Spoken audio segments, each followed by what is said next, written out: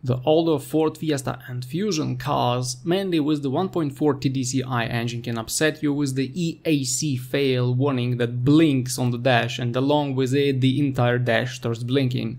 Also when you see this warning the vehicle gets into limp mode, the RPMs are set about 1500 and you can't accelerate properly. The EAC means electronic acceleration control and there are several units that may cause this issue. In most cases, the problem is in wiring and connectors, since the car is not new to say the least. Among the modules that can cause it, I would point out the electronic gas pedal, uh, the mass airflow sensor, and also the throttle position sensor. I've heard about a couple of cases when this EAC fail warning was caused by the ECU connector failure, but I don't think it's common for that generation of Ford cars.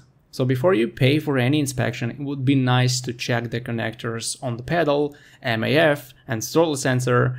If you have a broken wire, corroded pins or a loose connector in these units, you've just found the culprit. But if the problem is not recognizable that easily, the best way to solve it is to connect a good OBD scanner and read the codes. This will show you the right direction for further inspections.